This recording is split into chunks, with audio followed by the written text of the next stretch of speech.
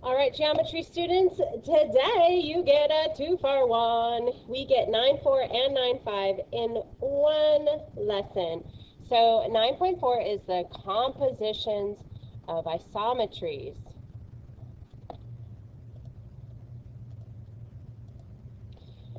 So an isometry, please write this down. An isometry is a transformation, like a translation, reflection, or rotation, that preserves distance or length. So the shape you started out with at the beginning, you still have at the end, but it's just translated, reflected, or rotated. Um, theorem 9.1, the composition, the composition of two or more isometries is an isometry. So if you do a translation or a reflection, um, you translate it and reflect it, you'll still have an isometry at the end. It'll still be the same shape no matter how many of these in a row that you do.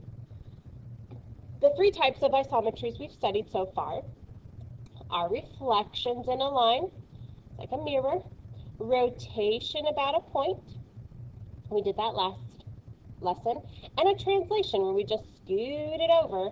Um, here's a fun thing. Which letters in the lowercase alphabet are transformations of each other?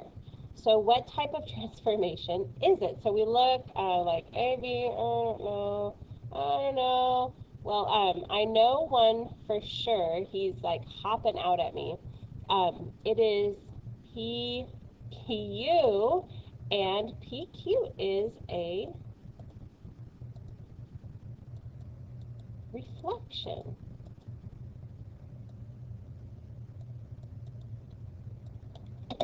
One second. I should try to put my mouse down. It's a reflection. And then we look and, oh, but uh, kind of like BD is also a reflection, like BD. Okay, BD, I see you. I see you, BD. Um,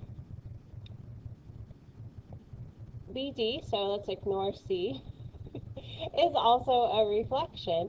Can you see any other um, either reflections, rotations, or translations that we get that can get us from one to the other? What about N and U? Isn't U an upside down N? So if we rotated n 180 degrees, what? That is insanity. Um, you guys look through here, see if there are any others. Is there, there's obviously not one just shifted over. Um, it'd be nice, like, oh, like, what if I, no, they're not the same shape. So take a look. This is just a fun thing to do. Try it with the capital alphabet. Write the capital alphabet on your paper and see if there are any transformations in the capital alphabet. Or depending upon which font you use, um, it would be nice to say, well, V is like a W, but um, in, in this particular case, like my W is too skinny to be um, a V. All right, so uh, example two I'm sorry, composition is a combination of transformations. And the way we um, write compositions, it is like we go from the inside out. So as we get, um, when we come down here and, and talk about these, you'll, you'll see what I mean by inside out. We're going to match the composition with the diagram. The solid figure I like these because they look like a little Star Trek insignia. I know. I'm showing my true nerd. Um, this little, beam me up, Scotty. Okay, the solid figure is the pre-image of the dashed figure. So this is the first guy. Here is this after the first um, composition, so that's our second guy. And then our second um, transformation gets us to this third figure here. So um, from here to here to here. So from here to here to here. Okay, so if we look at A, A has a um, translation. Then it has, and then when we do compositions, we put this little like this little O, this little baby O. He kind of looks like a degree, but he is down lower than where we usually put degrees. Um, and then we go inside out. So the first, um, so we're going to take our figure, we're going to translate it first, and then we're going to reflect it across line M. So you guys, reflection is a big R across line M. And that's going to get us to this third figure. So we want to find, and then uh, let's look at this guy. So this guy is like, oh, so here's where we start the first one. Uh, well, I'm going to put this down here, and then we'll um, this out. So we start with our figure. And the first thing we're going to do, let's, we're going to rotate it around point P. And remember the rotation? 180 degrees around oh, 180 P. Is, it's comma P. Sorry. It's the same terminology. P of our figure. Okay, so we're rotating it 180 degrees around P, and then we are translating. It's not a reflection. If it was a reflection, the long side would be over here. So it is a translation. So we're going to remember when we do our composition, um, I think of it as we take this little O in composition and put it um, in the middle. So we're, then we're going to do a translation. And I don't know how much it is, it's just a distance. Okay, um, and then finally, we look at our final figure. So let's go figure, put them in parentheses. He has a reflection across line M. Remember, reflection is big R. Um, across line M. And then he is combined with a rotation of 180 degrees around point P. Okay, remember the little O here means composition. So it's like the combination of two things. So we look at our um, compositions as the transformation that goes first happens closest to the figure and the transformation that goes next is on the outside. So it's like going from the inside out. Okay, so which one had the rotation about point P and then a translation perpendicular to line M? Oh, yep, this one. It was B. Translate parallel to line M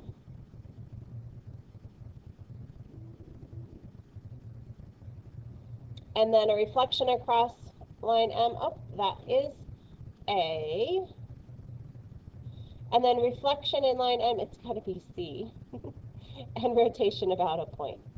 Yay! Okay, so that's how you kind of put together the terminologies we've been learning in the last few sections. Okie dokie. Let's try example three. What is, and remember we go inside out, so we're going to start with J. We're going to reflect it across line L and then reflect it across line M. So we take, um, I'm going to use my, I'm going to use a line. So we're going to take this line, uh, I'm going to pull it perpendicular, so it's going to go, and then um, this is, this is trickery. It's uh, you guys are going to have to eyeball it on your own paper. Um, I want to preserve the distance. So I'm going to preserve this distance. So the distance from J to L is going to be the same distance from J to uh, L, the line L to J prime. So um, you guys are going to get to see my amazing skills. Um, so let's go. We want red. J. I know I'm killing it today. Okay, so here's our J. Oh, he's looking so good. Okay. And then we are going to reflect him across line M. So, so we got the distance so let's get another line. Let's preserve the distance. Um, from J to M. Oh, we're going to go off the page.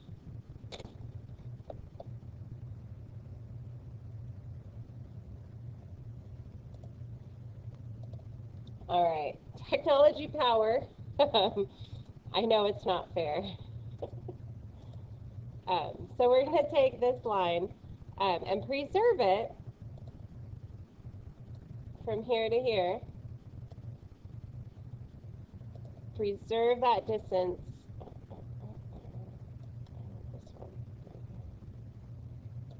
And then my new J will be over, it'll be J chilling over here.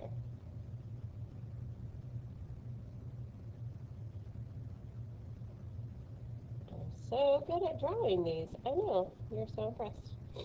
Okay, so here's J prime. I'm going to call this J double prime because he had two translations. So, alrighty. A glide reflection is a composition of a reflection and a translation. Ooh, that sounds fun. Let's go ahead and do some of those. Find the following glide reflection. Um, we're going to take triangle TEX and translate it uh, down 5 and then rotate it around, uh, or sorry, reflected across the line x equals 0. So um, let's go ahead and put TEX on our graph. So T is at negative 5, 2. Hmm, hello, buddy. I see you. And E is at negative 1, 3. Okay, you're right on the board, E. And X is at negative 2, 1.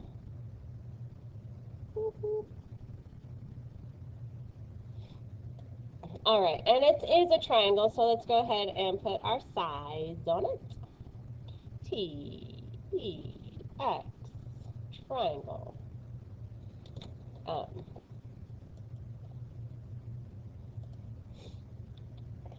I am going to give him some solidarity um, so that when we fuss with him, he'll, he'll go all, he'll go willingly. Okay, so we're going to translate him five units down. So here we go.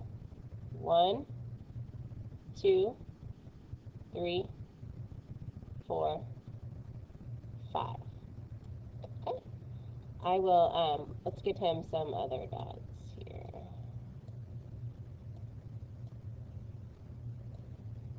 And just for fun, so you can see where we came from, I'll, um, I'll put a copy of him back up so we can keep Oh, there's our original guy. So um, this guy down here is going to be our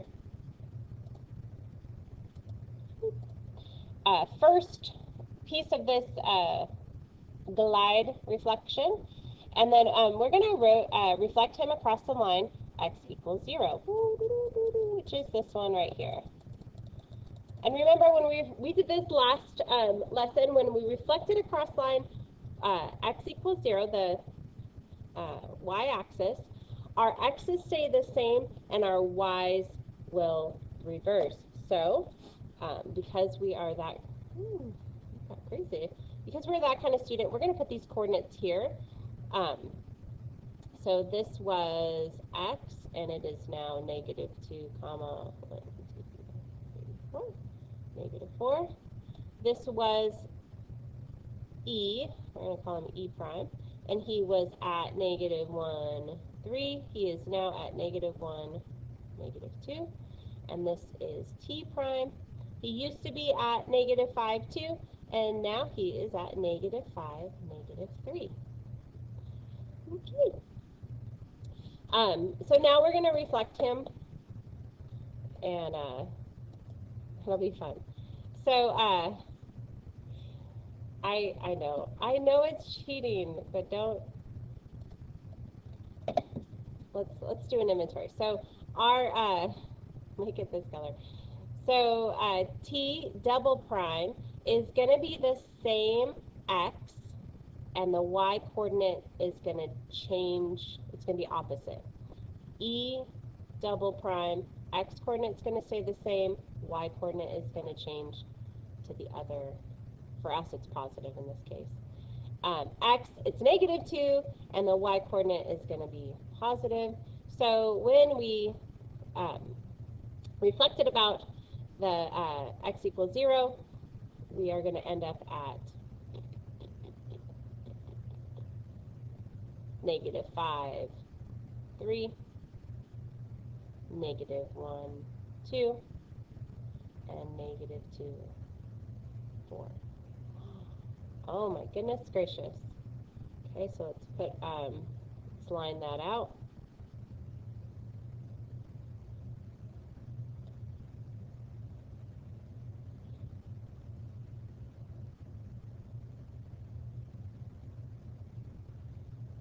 And it really did flipsy that on its head. So this is negative 5, 3. E is, oh, this one right here. Negative 1, 2. And x double prime is negative 2, 4. So this one was like, woo, but then reflect. And that's called a glide reflection because we slide and then we reflect. Glide reflection. So it slid all the way down to here and then it reflected. Well, that was fun. Thank you guys for going on that adventure with me. Um, take a moment right now, complete the 9-4 practice.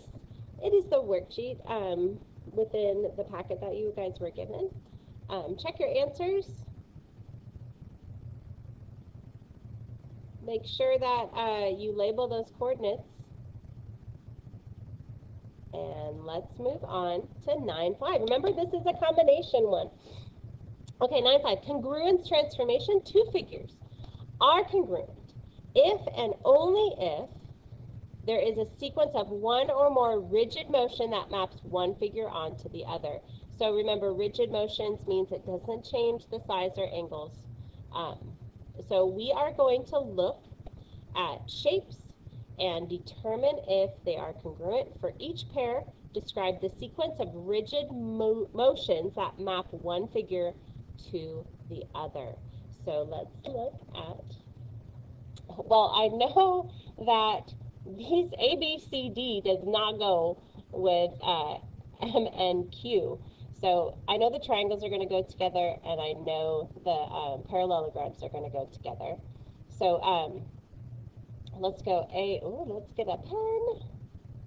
Which pairs of figures in the grid are congruent? So let's go uh, quadrilateral A, B, C, D is going to be congruent to quadrilateral H, I, J, okay? Make sure that you guys, when you answer questions, especially on your test, you um, look at what the question is asking and give it the answer um, that it wants. Like it says, which pairs of figures are congruent? Tell me which are congruent. Um, some of you guys, that's an easy, super easy step to miss. Um, and then we have triangle, M, and Q, and it is going to be congruent to triangle U, V, W.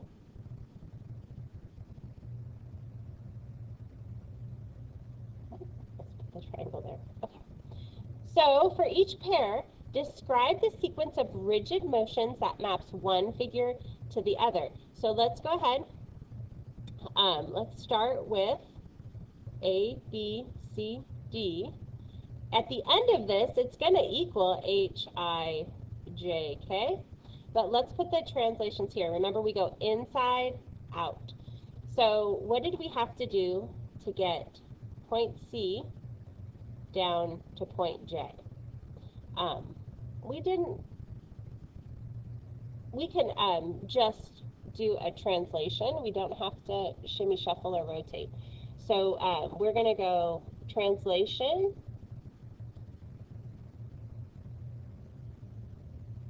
And let's put what we translate. We went over one, two, three, four, five, six. So six to the right. And then down one, two, three, four, five. Down five. So if we translate A, B, C, D, over 6 and down 5, we get H, I, J, and K. All right, the next one is a bit trickier. I'm going to erase this so we can see it a little bit better. Um, because uh, I look at, okay, this is kind of like the pointy part N goes with V. So the first thing that happens is, oh, we can kind of, if we reflect this um, across the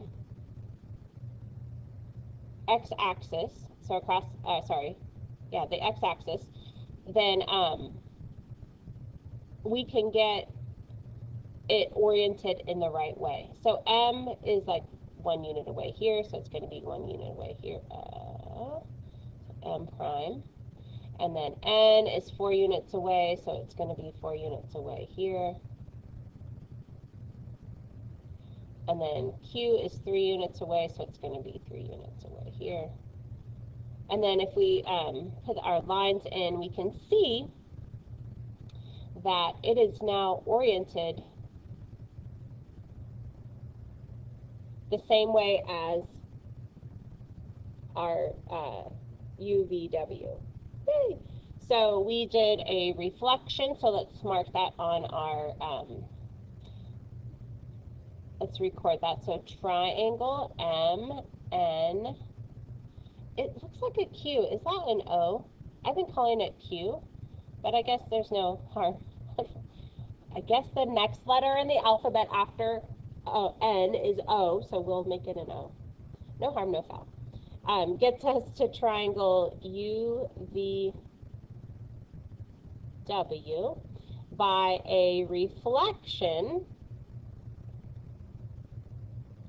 across the X axis. And then it is going to be combined with a translation of, okay, let's count and see how far over we move this guy. We'll, we'll use N to, to guide us. One, two, three, four, five, six. Translation of six. And oh, up or down, nothing, because it goes straight over. Woohoo! Are there other ways that, other transformations you can put together to get here? Yes, there's not just one, um, there's, like my dad says, there's the easy way and there's the hard way. Um, but if you take a different path but still get to the same place, um, I will be looking at, when I grade your papers and stuff, I'll be looking at your translations and rotations and see if they make sense. Even if they're slightly different from what we do, that doesn't mean they're not right. All right, example two, what is the transformation that maps NAV onto BCY? So N goes with B we can pick a point um, to kind of guide us. So N goes with B. So if you look, N is on top here, B is on the bottom here. I think we need to reflect it first. So um, let's put together our terminology.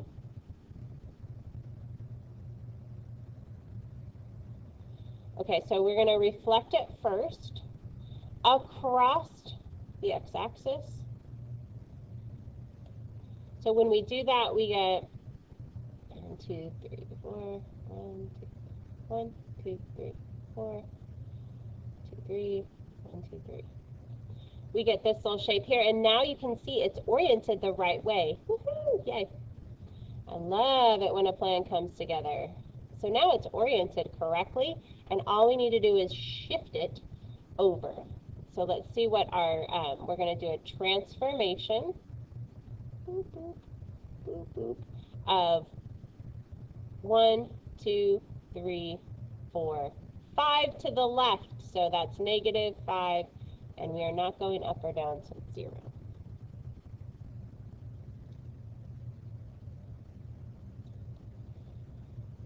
All right. So you guys, it, it takes a little bit of vision to get to the right spot. Um, but the more practice you do, the better at it you get. Um, okay, that is all for lesson 9, 4, and 9, 5. Go ahead and do the practice worksheet. for 9-5, come back here, check your answers, see if you got what I got. It doesn't necessarily, there are a couple different ways um, to do this, so you may have a different um, combination than I do. And don't feel, if you're right, it doesn't have to be the same as long as you're right. So just double check. All right. And that's all for this lesson.